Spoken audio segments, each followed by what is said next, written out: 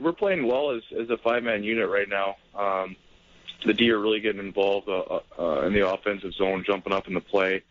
Um, and then I think off the rush, we've been kind of scoring in different ways. Power play's been scoring, you know, timely goals, and um, there's you know rebound goals and and goals off the rush. So it's it's a long season. Um, you know, obviously there was a a stretch there where pucks weren't going in for us as, as much as we would like, but that kind of happens with every team at certain points. So um, you know, we stuck with it and stuck with the game plan, and uh, we knew it was, it was a matter of time. So um, it's it's nice to see see them going in, and obviously, uh, you know, for the team and and for the players, you get a you get more of a uh, a positive feeling, and and uh, you feel more confident shooting it when you see them going in.